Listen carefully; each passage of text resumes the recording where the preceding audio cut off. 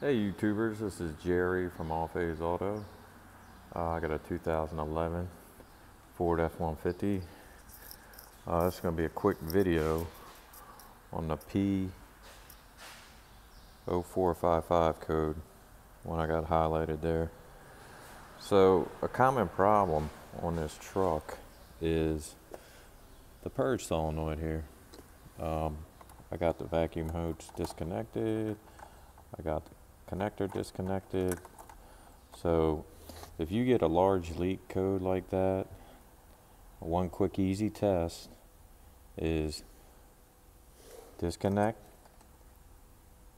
the electrical connector, disconnect this vacuum hose, and start the vehicle. Um, you can stick your finger on the hole and see if you feel vacuum. If you do, then this valve is bad.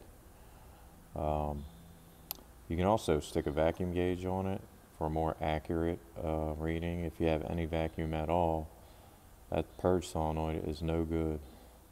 So that's what I got here on mine. I did stick my finger on it. Also stuck a vacuum gauge on it.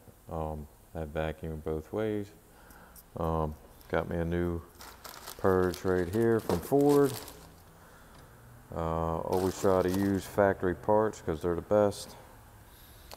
And I'm gonna stick it on here, clear this code, and uh, this is gonna take care of the P0455 code on this vehicle.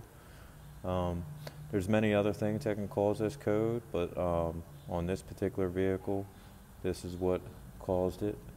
So um, yeah, give this a try, you know, do this little test, and if it fails, then replace that part. Um, if you got any more questions, uh, hit me up on a comment, and uh, I will answer them as soon as I can. I'm Jerry, All Phase Auto, ASE Master Tech, and I'll see you on the next one. Thank you.